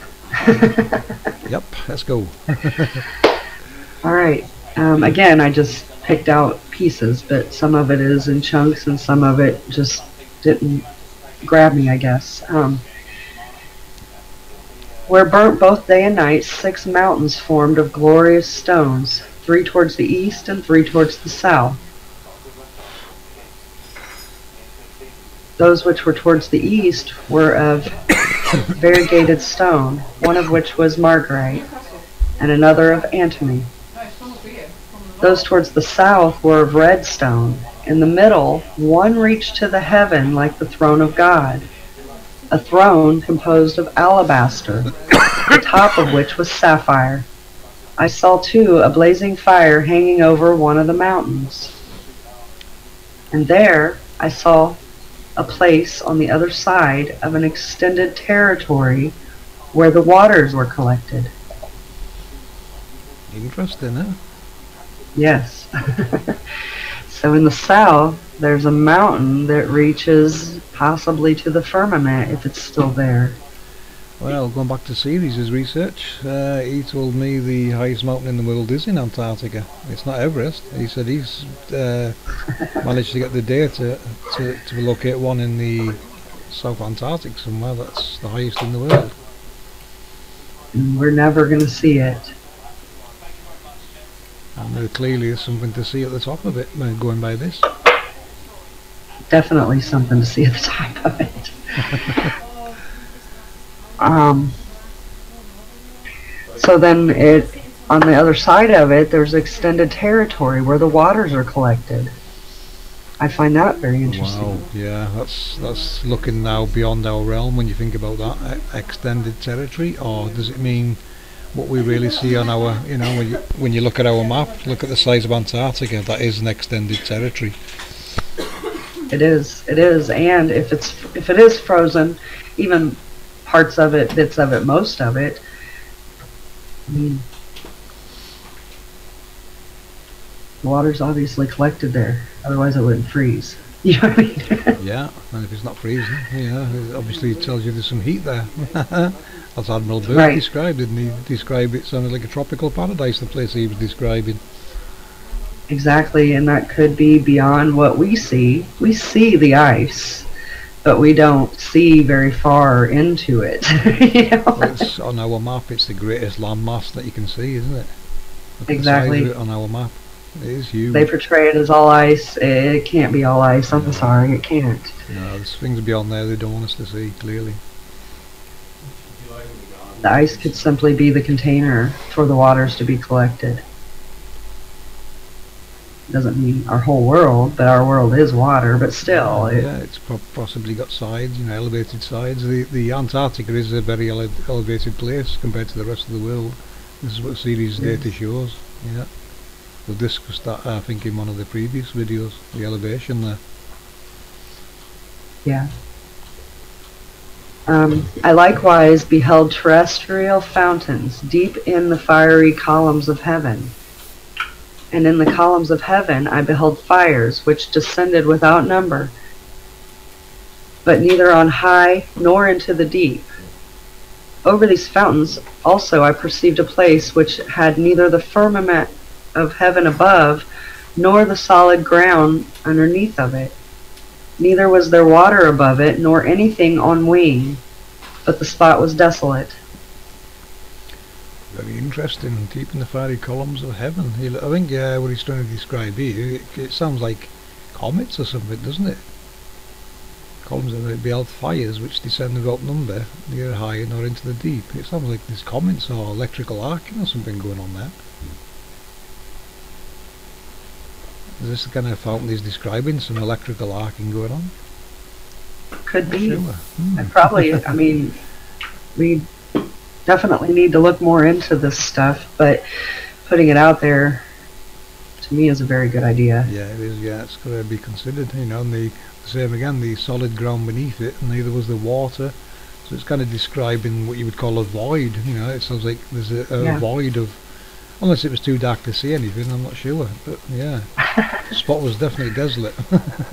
Well, it Nothing was is there. You know, you're saying there, there's nothing there. And when you look at Antarctica, I think the emperor penguins, that's probably all that lives there. But, but, yeah, big but.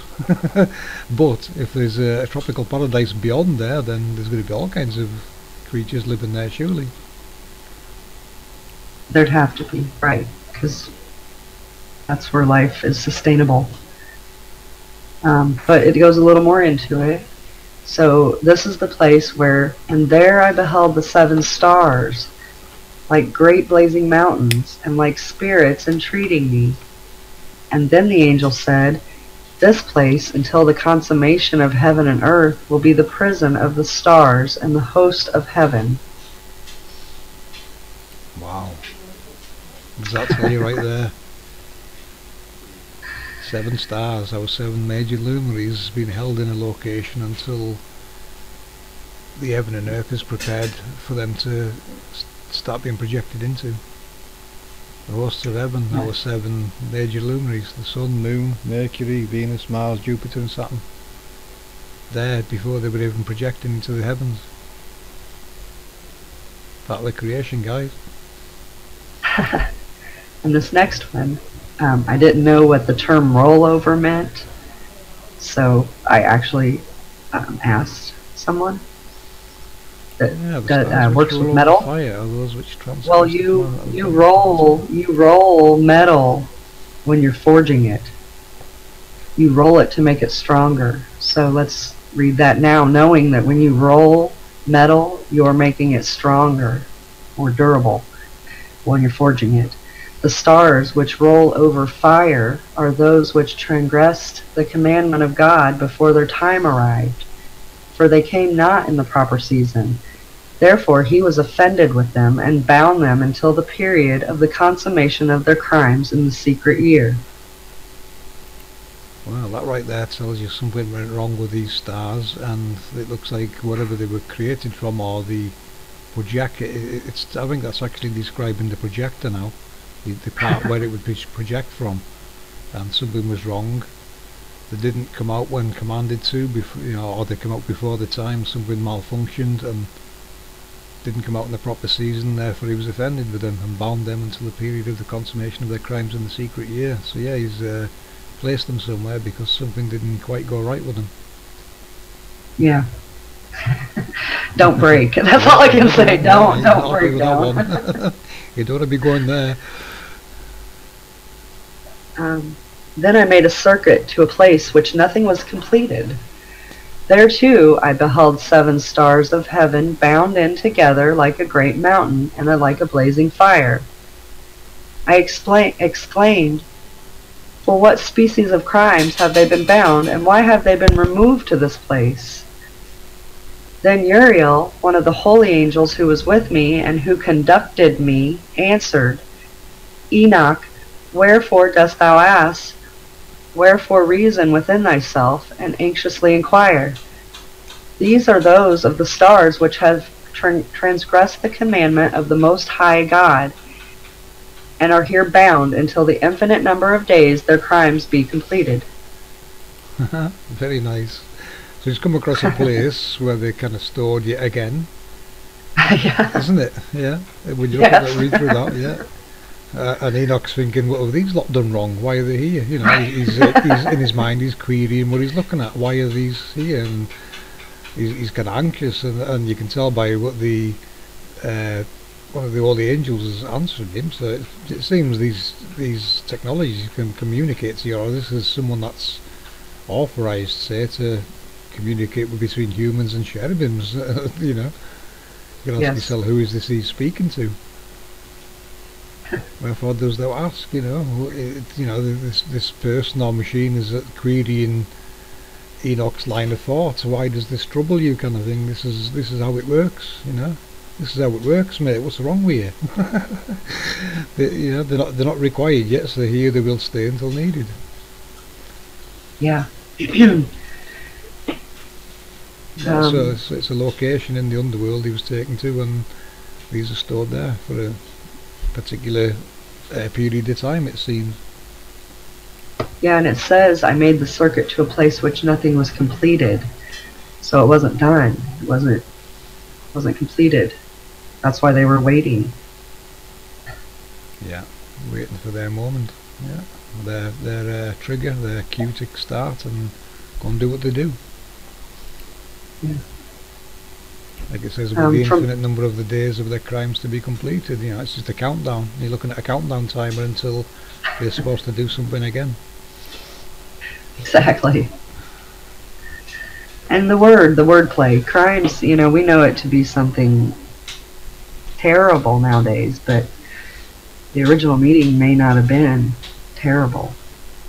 No, crimes could just be that the how- things you've done, the thing, you know, Yeah, your crimes are the things you do, the the acts you. yeah. I mean, um, you you can look at Enoch's mind, and he's just trying to query everything he's been shown, but it's beyond his comprehension. It seems of exactly what it is he's been shown. What you know, what he's Yeah. finding alarming and scary is quite a normal and natural process going on. It's just a, a human reaction to what they're looking at. You know, this this technology and the scale of it, it drops men to the knees, and you can see why, because they cannot comprehend what they're looking at.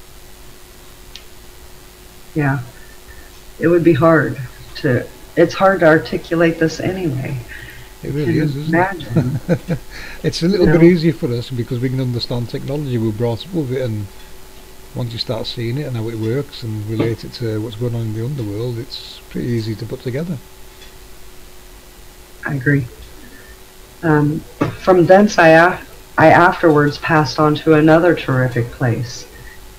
Enoch, why art thou ala- alarmed and amazed at this terrific place, at the sight of this place of suffering? This, he said, is the prison of the angels, and here they are kept forever. From thence I proceeded to another spot where I saw in the west a great and lofty mountain, a strong rock, and four delightful places. Yeah. internally. Go ahead. Yeah, I was just going to mention about the, uh, you know, where's it at again? The prison of the angels, and here they are kept forever. It's, you know, wh- Yeah. what they're calling the prison really is the underworld. This is where they work and operate. They're, they're kept there forever because this is where they, pro- they're, they're designed to work from. It's, you know, it's their work environment basically what you're looking at. Yeah. Forever, guys. They're still down there. They're still doing what they were intended to do. Amazing. Yes, it? it says forever. It says until the consummation of earth and heaven, and that has not happened. They are still there. They're still there. We just don't know where to look. And even if we did, could we even get down there? You know? And then if we got down there, would we want to? Well, I think it's every human's right to go and see this amazing place, isn't it? Really, you know. Imagine a school trip down there. You know, take a little roller coaster ride down below for a few miles and come back up. Whoa, the the sights you would Wow. see. That's I can guarantee you no, no one would quit school. We wouldn't have this problem with people not wanting to be in school if things like that happened. education with this on board, huh? What you would learn at school. yeah, you'd pay, I think you'd pay a bit more attention. Yeah, you would definitely live your life differently as well. Yeah, you would. You would because you know this brings scripture to, this brings scriptures to life. It does. Um, Certainly does. eternally, internally, it was deep, spacious, and very smooth, as smooth as if it had been rolled over. And it was both deep and dark to behold. Again, the rolled over, smoothing it out, and it's making it stronger. Manufactured. Yeah. It's that's what you do when you forge. Very things. large, spacious, and manufactured is what he's describing, isn't he? Yes. Um, we'll finish it up because this is all I have rest of for the rest of Enoch. Um, then Raphael, one of the holy angels who were with me, answered and said, These are the delightful places where the spirits, the souls of the dead, will be collected. For them they were formed, and here will be collected all of the souls of the sons of men. Three separations have been made between the spirits of the dead, and thus have the spirits of the righteous been separated, namely by a chasm, by water, and by light above. Very interesting. It is very interesting. Delightful places for sure, and bet they're very delightful. Spirits and the souls of the dead will be collected. Now, you know, is this referring to the souls of humans, or does it refer to the what cost? You know, could be the souls of technology being shut down? yeah, will be collected. Well, I'm not sure about that part, but it does refer to the sons of men, which is us. yeah, So I'm, you know, I don't know, but that's that's also just probably trying to tell us like, okay, the technology's below, then we have the separation for the humans, and then we have the uh, projections up in the sky, the light above. Yeah. But if you looked at it like chasm, I'm not sure what that word is. I'll have to look it up. But we do have earth, we have water, and we have light. yeah. Chasm's like an abyss, deep, a, a deep, isn't it? A cavern Yeah. kind of idea. It could be the the deep and the abyss has been, um, you know, discovered. I guess so to speak. You know, there's places that are very deep on Earth, full of water, but then when they go down so low, it's been described as there's another lake below the lake. Yeah. The Oh. waters are more dense, so they separate. But why are they more dense? What's the the you know? the dead as well will be collected. You know, if uh, now you know there's a creator, you know your soul. Will you be judged one day on what you've been doing in this world? people, these people behind hiding this really need to start thinking about this. It's true. And not only that, but the whole world in general. If we're going to be judged on the things that we've done in this world, then the world needs to get a grip. They need to rethink their actions and how they treat people. We don't treat people like garbage, which is what the world does. Everyone is out for themselves, and that's not what the way it was supposed to be. Right, But so, that's not really what this is about. We're more talking about the construct. yeah, yeah, all, we all have to seek our own souls and figure out who we want to be, how do we want to portray it, and how do we want to be remembered when we leave this world. That's on us, not not That's exactly all you've got left. How you want to be remembered. Exactly. And then based on that, we can grow as a group. But until we fix ourselves individually, we can't grow as a group. Well, we are growing as a group, but we suck. Like we are horrible. we are We're a horrible. primitive species. Yes, yes. At times. If you don't agree with me, I'll kill you. Yeah. Well, that's, that's not, that's not, yeah, who I want to be. That's not who I want to be. Yeah. And that's all I can do. Well, I think it was a fantastic uh, run through there. Do you? I thought it was, yes, Yeah, absolutely. you That was how you- awesome. This is how you decode scripture. You've got to look at it and what's it really telling you, people? You know, question it, look into it, read it, and but do factor in technology and a construct because clearly this is what it's all telling you. Exactly. Now I can't wait for you to put it together.